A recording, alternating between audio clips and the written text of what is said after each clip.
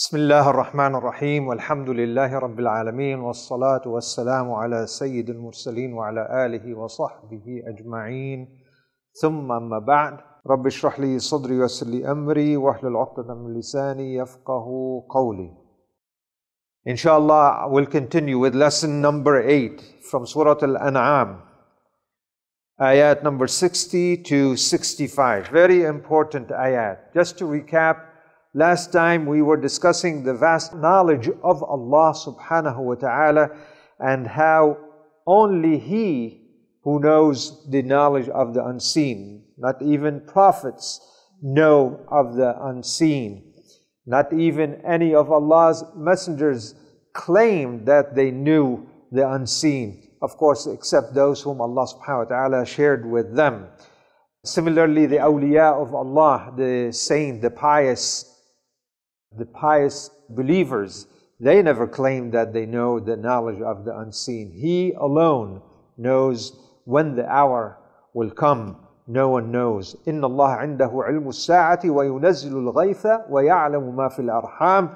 Verily, Allah knows when the hour or the knowledge of the hour, when it, it is going to take place. And He sends down the rain. ويعلم ما في الأرحام and He knows what is in the wombs.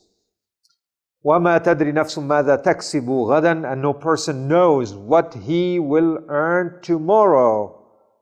وَمَا تَدْرِ نَفْسٌ بَأَيِّ أَرْضٍ تَمُوتُ And no person knows in what land he will die. إِنَّ اللَّهَ عَلِيمٌ خَبِيرٌ Indeed, Allah, verily Allah is all-knower, all-aware. So, this is basically what we were talking about the, the vast knowledge of Allah subhanahu wa ta'ala. Now, وَيَعْلَمُ So with this, in addition to that, what we discussed last time, وَيَعْلَمُ مَا فِي الْبَرِّ وَالْبَحْرِ And He knows whatever is on the land and in the sea.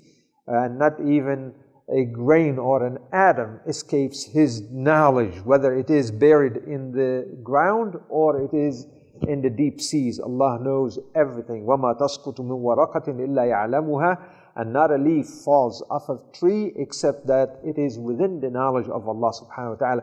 وَلَا حَبَّةٍ فِي ظُلُمَاتِ الْأَرْضِ Not even a grain in the darkness, in the depths of the earth. وَلَا رَطَبٍ وَلَا يَابِسٍ إِلَّا فِي كِتَابٍ مُبِينٍ And no wet or dry except in a clear record, in a clear book. And this Kitabul Mubin, by the way, is the attribute of uh, the knowledge of Allah subhanahu wa ta'ala. Nothing is out of knowledge, in other words. And now we continue here. وَهُوَ This is the ayah I recited. وَهُوَ الَّذِي يَتَوَفَّاكُمْ بِاللَّيْلِ وَيَعْلَمُ مَا جَرَحْتُمْ بِالنَّهَارِ So to continue to learn about the vast knowledge of Allah subhanahu wa ta'ala, we are informed that it is He who takes the possession of your soul. وَهُوَ الَّذِي يَتَوَفَّاكُمْ بِاللَّيْلِ At night, when we go to sleep, we are in a state of minor death, and that is wafat. That is called wafat. وَهُوَ الَّذِي يَتَوَفَّاكُمْ بِاللَّيْلِ وَيَعْلَمُ مَا جَرَحْتُمْ بِالنَّهَارِ And He knows what you have done during the day. As a matter of fact, in Surah Al-Zumar, the, the idea of uh, وَهُوَ الَّذِي يَتَوَفَّاكُمْ بِاللَّيْلِ is explained even further. Allah subhanahu wa ta'ala brings death to His servants in their sleep at night. الله يتوفى الأنفس حين موتها والتي لم تمت في منامها. It is Allah who takes away the souls at the time of their death and those that die not during their sleep. So what happens? فَيُمْسِكُ الَّتِي قَضَى عَلَيْهَا الْمَوْتَ وَيُرْسِلُ الْأُخْرَى إِلَى أَجَلٍ مُسَمَّى He keeps those souls for which He has ordained death, the death, the earthly death. Allah had decreed that so and so would die in his sleep, so the souls have already risen. Allah has possession of all the souls and the spirits, and He will withhold those spirits and souls that were decreed for them to die in their sleep. And what happens to the rest? And sends the rest for a term appointed. All the souls come back down and revive the individuals upon waking, waking up. Thus mentioning both here, the minor death and also the major death. So Allah subhanahu wa ta'ala said, وَهُوَ الَّذِي يَتَوَفَّاكُم بِاللَّيْلِ وَيَعْلَمُ مَا جَرَحْتُم بِالنَّهَارِ It is He who takes your souls by night when you go to sleep and has the knowledge of all that you do during the day. This ayah actually demonstrates Allah's perfect knowledge of everything. The knowledge of His creation, He knows everything we do, openly or secretly, by day or by night. He knows what we think, He knows what we are doing, He knows what we are about to do, and He also knows the things that we are unaware of, which later on the thoughts and ideas come to us, even that it is within the realm of knowledge of Allah subhanahu wa ta'ala. In uh, Surah Al-Ra'd we have, for example, سَوَاءٌ مِّنْكُمْ مَنْ أَسَرَّ الْقَوْلَ وَمَنْ جَهَرَ بِهِ وَمَنْ هُوَ مُسْتَخْفٍ بِاللَّيْلِ وَسَارِبٌ بِالنَّهَارِ It is the same to him whether any of you conceal or hide his speech or declare it openly. So whether you have it in your mind or you say it openly, it is within the knowledge of Allah subhanahu wa ta'ala. Whether he be hid by night or go forth freely by the day, it is also within the knowledge of Allah. So don't think you can go and escape to some dark place where no one sees you. Allah subhanahu wa ta'ala sees and knows what you're doing behind the curtains. وَهُوَ الَّذِي يَتَوَفَّاكُمْ بِاللَّيْلِ وَيَعْلَمُ مَا جَرَحْتُمْ بِالنَّهَارِ It is He who takes your souls by night when you go to sleep and has knowledge of all that you do by day. Now here's something the Prophet ﷺ used to say because we go to sleep and we wake up in the morning. We have this hadith on Hudayfa where the Prophet ﷺ used to say when he would go to bed, he would put his uh, hands underneath, he will rest his cheek over his hand and supplicate and say, Allahumma bismika amutu wa ahya. Oh Allah, by your name I amut, I go to sleep. Amut, the word maut is used here to mean the minor death. Wa ahya, and by your name I will be revived again in the morning. And what happens when he wakes up in the morning? We have another dua. The Prophet used to say, Alhamdulillah alladhi ahyani ba'dama amatani wa ilayhi nushur or Alhamdulillah alladhi ahyana ba'dama amatana وإليه النشور All praise and thanks are due to Allah who revived us after He caused us to die. This is the minor death. After we went to sleep, we were revived and we praise and thank to Him, and eventually, and toward Him we spread. This is in Sahih al-Bukhari. So sleep is the sister of death or the minor death, if you will. Because when we sleep, we lose self-consciousness totally. The souls are raised and we lose complete consciousness. ثم يبعثكم فيه. Then He raises you. He wakes you up again. And this cycle, as you know, continues on a daily basis. We go to bed, our souls go up. We wake up in the morning, our souls come down. And you know, because of the nature of the soul, the soul moves instantaneously. There's no time element or time factor involved with the soul, with the spirit, because the spirit came by the command of Allah subhanahu wa ta'ala, and it is made out of light, as some scholars suggest, based on a hadith. And just like angels move so swiftly and so quickly, the human souls also travel that quickly. So when we sleep, when we become unconscious totally, it's at that moment when the souls travel to the seventh heaven. And when we wake up, it is instantaneously the soul comes back down and we regain consciousness. And this cycle continues. We sleep and we are raised again. ثم يبعثكم فيه ليقضى أجل مسمى. He will send you back and he raises you back to a fixed term. To a fixed term. إلى أجل مسمى. Now this known time is known only to Allah subhanahu wa ta'ala. And if Allah willed for you or for me to live for 50 years and so many days and so many seconds, we will live for exactly that amount of time. We cannot delay it, nor can we make it come sooner. So this cycle continues up until we expire or we are killed by the leave of Allah subhanahu wa ta'ala, and this is what is called the major death. So this cycle of returning your soul in the morning or and taking your soul up in the evening continues to a fixed term until one completes this cycle that is determined by Allah subhanahu wa ta'ala. ثُمَّ إِلَيْهِ مَرْجِعُكُمْ But then what happens? When your time is up, ثُمَّ إِلَيْهِ مَرْجِعُكُمْ Then you return back to Him. ثُمَّ يُنَبِّئُكُمْ بِمَا كُنْتُمْ تَعْمَلُونَ And then He will inform you of what you were doing. He knows everything. Now, mind you, these articles of faith that we are studying have been repeated over and over in the Quran. And that was actually the main subject during the Meccan period. The Prophet ﷺ was not talking about halal and haram, rather, he was talking about the Allah, the essence of Allah, the attributes of Allah. He talked about the akhirah, the day of uh, resurrection or the day of judgment. Uh, he talked about paradise, he talked about hell, and all of these subjects had been repeated. As a matter of fact, two thirds of the Quran was around those subjects in Mecca. And those subjects were repeated and repeated, but in different modes of explanation, in different ways, using different words, using different terminologies. And this is what is meant by tasriful ayat. What is tasriful ayat?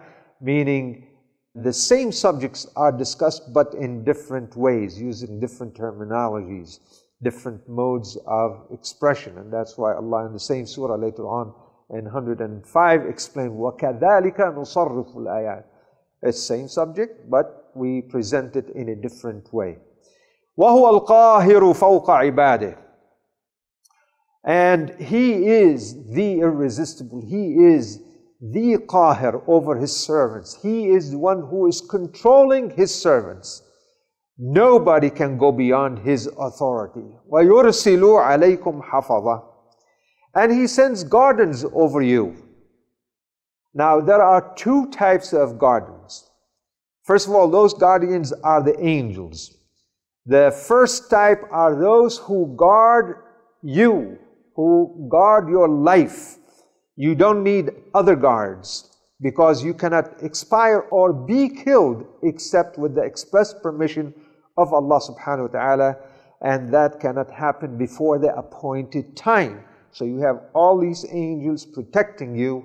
When the time is up, then they will take up your soul permanently. So angels protect us. Allah subhanahu wa ta'ala said, in Surah Al-Ra'd, for example, له معقبات من بين يديه ومن خلفه يحفظونه من أمر الله. For each person, there are angels in succession before and behind him. Now we're not aware of them because we don't see the angel, but this is a fact. This is what Allah is informing us. They guard him by the command of Allah subhanahu wa ta'ala. Allah sends those hafadha, those guardians, to guard us. Well, again, we have, for example, وَإِنَّ عَلَيْكُمْ لَحَافِظِينَ And we over you are your protectors, your guardians. We will protect you, but verily over you are appointed angels in charge of mankind to watch you. As a matter of fact, as we speak, as we speak, we are surrounded by angels to protect us. Because we have this hadith عن أبي هريرة عن النبي صلى الله عليه وسلم who said ما اجتمع قوم في بيت من بيوت الله Anytime people are joined together in a house of the houses of Allah يتلون كتاب الله as we're doing right now ويتدارسونه بينهم and they're studying among themselves إلا نزلت عليهم السكينة سكينة tranquility peace descends upon them وغشيتهم الرحمة the mercy of Allah subhanahu wa ta'ala covers them وحفتهم الملائكة and angels surround them angels surround them وذكرهم الله في من عنده and Allah subhanahu wa ta'ala mentions those individuals by name to those who are with him the angels that are close to Allah al-malaikatul muqarrabun so that's the first type of angels who protect Allah's servants the other type the second type is guardians or angels who keep your record of deeds what one is doing and what one is saying. For example, in Surah Qaf, we have the ayah that explains إذ يتلقى المتلقيان عن اليمين وعن الشمال قعيد ما يلفظ من قول إلا لديه رقيب عتيد Remember that the two receivers, the recording angels, receive one sitting on the right and one on the left. This is why when we make salam in our salah, in case you wondered, we say Assalamu alaikum wa rahmatullah, Assalamu alaikum wa rahmatullah. We are saying salam to the angels that Allah assigned for each individual. We have one on the right and one on the left, and both are writing down everything we do. Not a word does he utter, but there is a watcher by him ready. وَيُرْسِلُ عَلَيْكُمْ حَفَظَةً And Allah subhanahu wa ta'ala sends to you حفظة, guardians, حتى إذا جاء أحدكم الموت until such time when death approaches each of you توفته رسولنا وهم لا يفرطون our messengers the angels that were assigned to take the souls the spirits of those individuals will come take it and they will never neglect their duty they cannot delay it nor do it beforehand because angels are created to administer the kingdom of Allah subhanahu wa ta'ala. They are employed by Allah and they do precisely what they are commanded to do. They cannot disobey. لا يعصون الله ما أمرهم ويفعلون ما يؤمرون. They cannot disobey Allah subhanahu wa ta'ala and they do just exactly as they are commanded. So that's what happened. When the time of death comes, those messengers, those angels will take the souls and they will not neglect their duty. ثم ردوا إلى الله مولاهم الحق and then they are returned to Allah, their true protector, مولاهم الحق, true sustainer, true master. We have this hadith عن أبي هريرة you find in uh, Musnad Ahmad رحمه الله ورضي الله عنه where the Prophet صلى الله عليه وسلم said إن الميت تحضره الملائكة فإذا كان الرجل الصالح قالوا the angels attend the dying person. If he is a righteous person the angels will say أخرجي أيتها النفس الطيبة. كانت في الجسد الطيب. أخرجي حميدة وأبشري بروح وريحان ورب غير غضبان. O pure soul. from a pure body come out with honor and receive the good news of rest, of peace, satisfaction, and a Lord who is not angry. فلا تزال يقال لها ذلك حتى تخرج and the angels will keep saying this until the soul leaves the body ثم يعرج بها إلى السماء فيستفتح لها فيقال من هذا فيقال فلان and they will then raise it up to heaven and will ask that the door be opened for the soul and it will be asked, Who is this? It will be said, The soul of so and so. فيقال مرحبا بالنفس الطيبة كانت في الجسد الطيب ادخلي حميدة وأبشري بروح وريحان ورب غير غضبان it will be said, Welcome to the pure soul that inhabited the pure body. Enter with honor and receive the good news of rest, satisfaction, and a Lord who is not angry. فلا تزال يقال لها ذلك حتى ينتهى بها إلى السماء التي فيها الله عز وجل. This statement will be repeated until the soul reaches the heaven above where Allah subhanahu wa ta'ala is. Now what happens to the wicked soul? This is for the righteous. وَإِذَا كَانَ الرَّجُلُ السَّوْءُ قَالُوا And if the dying person is evil, wicked, then the angels will say, اخرجي أيتها النفس الخبيثة كانت في الجسد الخبيث اخرجي ذميمة وأبشري بحميم وغساق وآخر من شكله أزواج Get out of your body, O wicked soul, from a wicked body. Get out in disgrace and receive the news of boiling fluid, a fluid dark, murky, intensely cold, and other torments of similar kind, all together to match them. فلا تزال يقال لها ذلك حتى تخرج and this statement will kept on repeating until the soul eventually comes out of the body. ثم يعرج بها إلى السماء and then the soul will be raised up to the heaven فيستفتح لها فيقال من هذا فيقال فلان and the request will be made that the door be opened for it and it will be asked who is this and it will be said this is the soul of so and so فيقال لا مرحبا بالنفس الخبيثة كانت في الجسد الخبيث ارجعي ذميمة فإنه لا يفتح لك أبواب السماء It will be said, not welcome to the wicked soul from the wicked body. Return with disgrace, for the doors of heaven will not be opened for you. فترسل من السماء ثم تصير إلى القبر. And so it will be thrown from heaven until it returns to the grave. فيجلس الرجل الصالح فيقال له مثل ما قيل في الحديث الأول and so the righteous person sits and similar is said to him as before ويجلس الرجل السوء فيقال له مثل ما قيل في الحديث الثاني and the evil person sits and similar is said to him as before.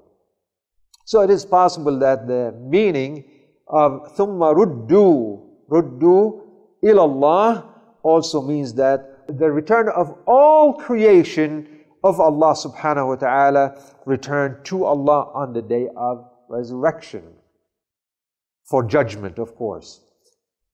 For example, we have this uh, ayah قل إن الأولين والآخرين لمجموعون إلى ميقات يوم معلوم Say, O Prophet, verily those of old and those of later times, everyone, al-awwalun wal-akharun, all will surely be gathered together for an appointed meeting of a known day, the day of resurrection. We have another ayah, for example, from Surah uh, Al-Kahf, وَحَشَرْنَاهُمْ فَلَمْ نُغَادِرْ مِنْهُمْ أَحَدًا And we have gathered them, we have assembled them all together so as to leave not one of them behind. So, ثُمَّ رُدُّوا إِلَى اللَّهِ could only mean that all creation of Allah subhanahu wa ta'ala will be returned back to Allah subhanahu wa ta'ala. مَوْلَاهُمُ الْحَقَّ The return to Allah, the true protector, the true sustainer, the true master. أَلَا لَهُ الْحُكْمِ Does not authority belong to Him? Surely his is the judgment and the final word. وَهُوَ أَسْرَعُ الْحَاسِبِينَ And He, Allah subhanahu wa ta'ala, is the swiftest in taking account. He's very quick, just like that. He does not require time to prepare your record. In no time, He will take the account of all people. Now we go to, we'll shift gears now from His perfect knowledge of everything to the omnipotent attribute of Allah subhanahu wa ta'ala who is most powerful capable on doing anything. قل من ينجيكم من ظلمات البر والبحر Say, O Prophet, who rescues you from the depths of darkness in the land or in the sea? تدعونه تضرعا وخفيا You pray to Him humbly, sincerely, and also in secret, saying, لئن أنجانا من هذه لنكونن من الشاكرين If only Allah subhanahu wa ta'ala save us from this, from the danger they are in, whether on land or in the sea, you will find us among the grateful ones, O Allah. So imagine you are riding a boat in the middle of the sea or ocean, and then storm comes at you. Immediately you call on Allah subhanahu wa ta'ala because when one is in danger, the fitrah jumps ahead of the person calling on its creator, calling on Allah subhanahu wa ta'ala, and you will be crying out to Allah, Oh Allah, you save me, and this is normally what happened. You save me, and I promise you that I will mend my ways I will obey you, I will pray, I will give in charity, I will do everything you want me to do. And this is, we have in uh, another ayah in Surah Yunus actually that explains this whole phenomenon. هو الذي يسيركم في البر والبحر حتى إذا كنتم في الفلك وجرين بهم بريح طيبة وفرحوا بها جاءتها ريح عاصف وجاءهم الموج من كل مكان He it is who enables you to move, to travel through the land and the sea till when you are in the ships sailing and they sail with them with a favorable wind. They rejoice when the wind is going in their in the direction they want it to go they are happy. No effort is required. You save on fuel, sea is calm, gentle wind pushing the actual ship in the direction they are going, so they rejoice. Then comes a stormy wind, and the waves come to them from all sides. وَظَنُّوا أَنَّهُمْ أُحِيطَ بِهِمْ and they think that they are encircled within. Now they are in danger. All these waves, big, humongous waves, threatening the people on the ship. Now what do they do? دعوا الله مخلصين له الدين. Then they call unto Allah sincerely in their dua. مخلصين له الدين. Deen here means dua. They are sincere in calling Allah subhanahu wa ta'ala. لَإِنْ أَنْجَيْتَنَا مِنْ هَذِهِ لَنَكُونَنَّ مِنَ الشَّاكِرِينَ If you only save us from this danger, we will be indeed among those who will be grateful to you, will be indeed thankful to you. In other words, they're making promises that they will mend their ways and they will do whatever is required of them to please Allah subhanahu wa ta'ala. So وَإِذَا مَسَّكُمُ الضُّرُّ فِي الْبَحْرِ ضَلَّ مَا تَدْعُونَ إِلَّا إِيَّاهِ This is a similar situation actually in Surah Al-Isra. وَإِذَا مَسَّكُمُ الضُّرُّ فِي الْبَحْرِ ضَلَّ مَا تَدْعُونَ إِلَّا إِيَّاهِ Look how beautiful. When something harmful touches you, fil bahr, while you are in the sea. When some harm strikes you at sea, those that you used to call upon besides Allah subhanahu wa ta'ala vanish from you except Him. Those who were calling on Lat and Manat and Uzza, now they vanish. They don't think of those anymore. Fir'aun, for example, who claimed to be so powerful, when he was drowning, what happened to him? He all of a sudden realized it was to him before the knowledge has come to him. Musa came to him with the truth. Not only truth, signs, evidences, miracles before his eyes. That was knowledge of this truth. But when it became real, when it became true, when he himself was drowning, it became haqqul yaqeen, certainty for him. This is real now.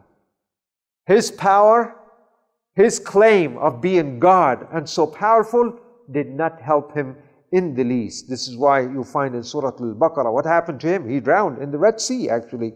وإذا فرقنا بكم البحر فأنجيناكم وأغرقنا آل فرعون وأنتم تنظرون. We drowned the people of Fir'aun and Fir'aun too.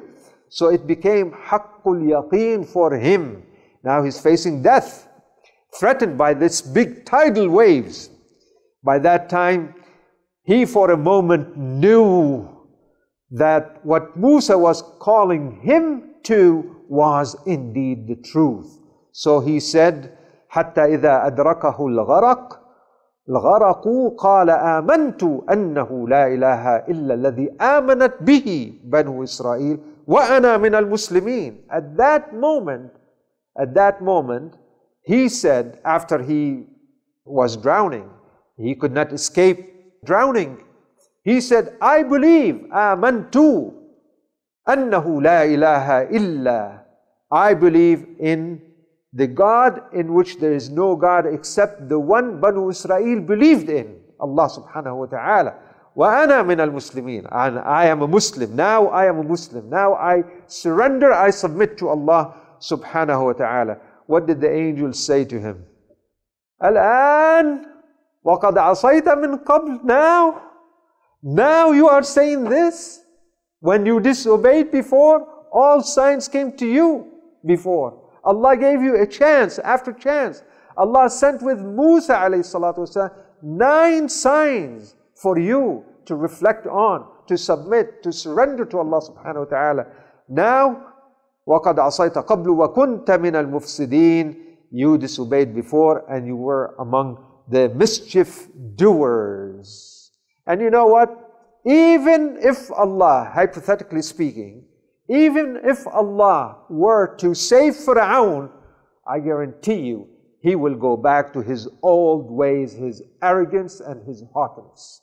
Simply because after nine signs, if he could not believe, do you think if Allah saved him from drowning, he will truly submit?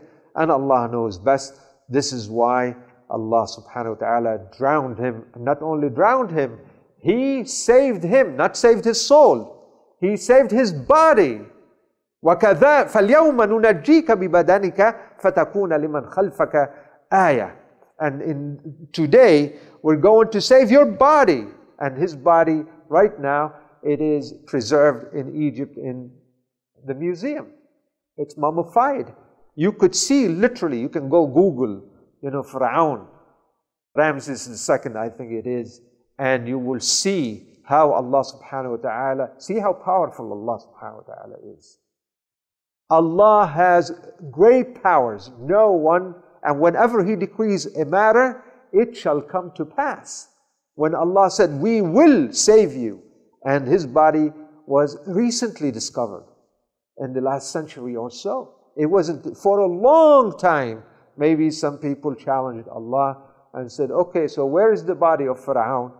But eventually Allah subhanahu wa ta'ala made his body prevail and to be a sign to those tyrants and those arrogant rulers who would come after him. قل من ينجيكم من ظلمات البر والبحر تدعونه تضرعا وخفيا Say, O Prophet, who rescues you from the dark depth of darkness in the land and in the sea when you call Him humbly, sincerely, and also in secret. In other words, openly, they make dua and they call on Allah subhanahu wa ta'ala, saying these words, O Allah, O my Lord, O Rabb, O God. Or secretly, within themselves, they are say, O Allah, help me, O Allah, save me, and making deals with Allah subhanahu wa ta'ala. And what is the deal? لَإِنْ أَنْجَانَا if He only saves us, لَنَكُونَنَّ مِنَ الشَّاكِرِينَ We will be grateful. We will be among the grateful ones, those who appreciate what you had done and among those who will follow you. Now, some people are truthful to their promises. Consider, for example, Yusuf Islam. Maybe most of you know who Yusuf Islam is. Yusuf Islam uh, was known before he converted to Islam in 1976 as Cat Stevens, a famous pop singer. Now, what happened to him? He nearly drowned off the coast of Malibu in California. And he made a deal with Allah subhanahu wa ta'ala. He said, he shouted, Oh God, if you save me, I will work for you. He struck a deal with him. And what happened? After he related that, after he made the dua, a wave appeared and carried him back to shore safely. But this man was true to his promise. Actually, he was in search. Before he became a Muslim, he was in search for the truth. Now he was asking himself, which God I am going to serve. He, talked to God, Oh Allah, Oh God, if you save me, I will work for you. Now his challenge was to find God. Although he was born as a Christian, but he was looking for the real God. So he studied Buddhism, he studied Hinduism, he studied numerology, he studied all sorts of religion until actually he was sick and his brother had visited Jerusalem, purchased a copy of the Quran, gave it to him as a gift, and while he was in uh, bed, being sick, read the Quran, and this is when Allah subhanahu wa ta'ala opened his heart to Islam and he embraced Islam. Nobody presented Islam to him. It was the will of Allah subhanahu wa ta'ala that, per, that that person will be among the grateful ones. And indeed, he was among the grateful ones. He done marvelous uh, things for Islam, for the community, humanitarian aids, and so on and so forth. قل الله ينجيكم منها ومن كل كرب ثم أنتم تشركون Say, Allah rescues you from these dangers and from all distresses, and yet you commit shirk. Now that's the other, other side. Some are truthful to their promises, true to their promises, while others, Allah saves them, but you find them going back to shirk. قل الله ينجيكم منها ومن كل كرب ثم أنتم تشركون Allah rescues you from being in danger and harm and from any distress for that matter but then what happened you go back to committing shirk with Allah subhanahu wa ta'ala so many people break their promises when they strike a deal with Allah if He saves them from danger Allah of course knows that this is going to happen yet He saves them so it can be an argument, hujjah alayhim, an argument against them on the day of judgment. We have a similar ayah in Surah Al-Isra. فَلَمَّا نَجَّاكُمْ إِلَى الْبَرِّ أَعْرَضْتُمْ وَكَانَ الْإِنسَانُ كَفُورًا And when He saved you, you returned back to your old attitude, to your old ways, ungrateful. And man is indeed ungrateful. The next ayah, قل هو القادر على أن يبعث عليكم عذابا من فوقكم أو من تحت أرجلكم أو يلبسكم شيعا ويضيق بعضكم بأس بعض. This ayah shows the power of Allah subhanahu wa ta'ala and what He can do. Say, O Prophet, say to them that he is the all-powerful. وَقُلْ هُوَ الْقَادِرُ He has the power على أن يبعث عليكم that He will send to you عذابا من فوقكم a punishment from above you. Could be tornadoes, could be hurricane, could be wind, could be rain, could be hail, could be anything. أو or من تحت أرجلكم from underneath your feet, from the earth. Could be earthquakes, uh, diseases, whatever Allah subhanahu wa ta'ala wants. That's the second way. The third way, the third way is أو يلبسكم شيعا ويذيق بعضكم بأس بعض. And this is the worst of punishment of Allah subhanahu wa ta'ala. He will throw you into confusion and cause you to be divided into groups and sects, and you will be fighting one another. You will be fighting one another. No need to send anything from the heaven, no need to bring anything from the earth. Fighting each other is the worst that could happen to any people.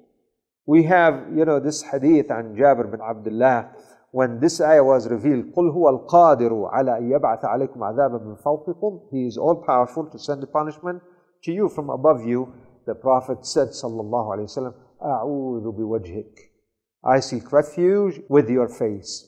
أَوْ مِن تَحْتِ أَرْجُلِكُمْ When he read this part of the ayah, or from underneath you, he supplicated the same.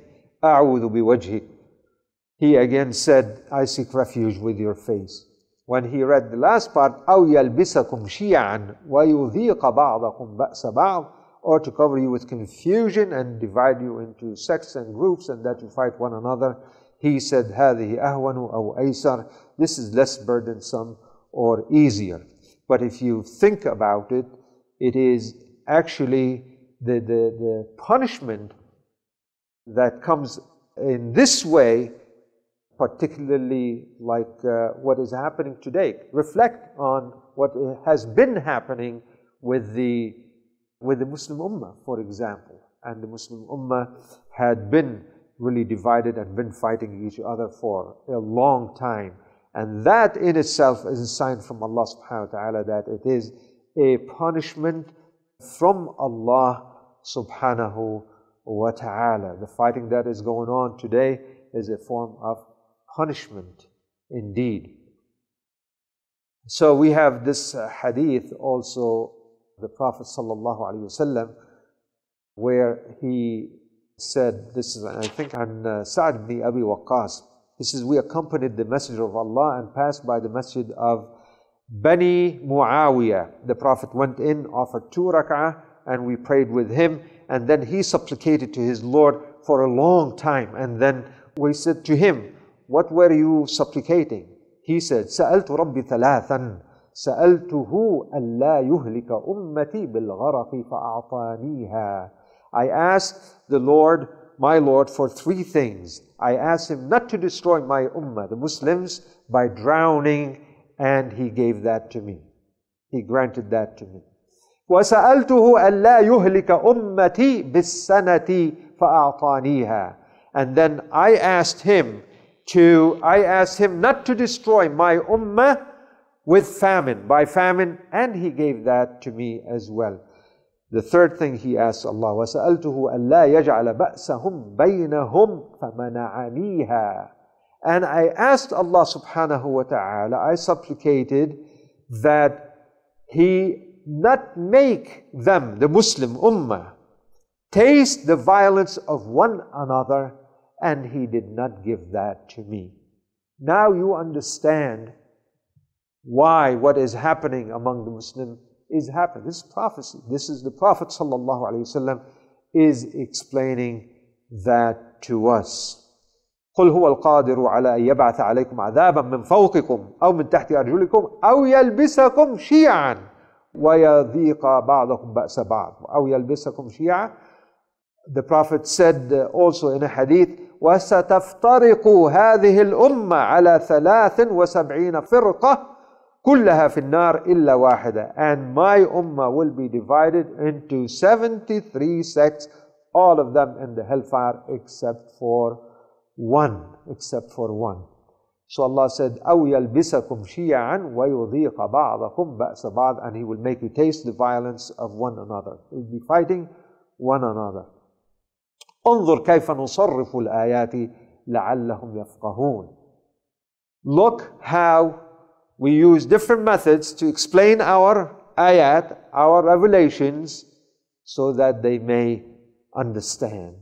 لعلهم يفقهون And if only the Ummah returns back to the Quran, reads the Quran, ponders on these great ayat, and give up this ego and give up this whatever and surrender really truly back to Allah subhanahu wa ta'ala. Because the Prophet said, لا يصلح آخر هذه الأمة إلا بما صلح به أولها. The, the affairs of the latter part of the ummah cannot be mended, cannot be reformed, except on that which was mended and reformed in the first part of this ummah. This is the time of the Prophet the time of the Sahaba, ma ana wa sahabi. So we need to reflect, we need to return back. And what was, what does that mean? It means we need to go back to the very source that made them who they were then, and that is the Quran. That is the Quran. We have to go back to the Quran, learn the Quran, understand the Quran, implement, be the walking Quran, and only then Allah's mercy will come to us and all these sects will go away and all the schisms and all the fightings will stop and we become one strong, powerful community doing what we were supposed to do, and that is to guide humanity. May Allah subhanahu wa ta'ala increase us in knowledge and guide us, and may Allah subhanahu wa ta'ala help us. Allahumma ameen.